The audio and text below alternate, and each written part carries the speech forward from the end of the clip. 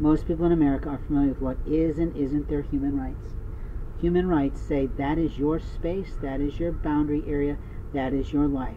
The stupid child of America or foreign country likes to play as if they're in charge of a life. They are not in charge of any life besides their own. And when you step outside of your comfort zone, when you step into someone else's zone, you put your whole life at risk. In America, we have rights.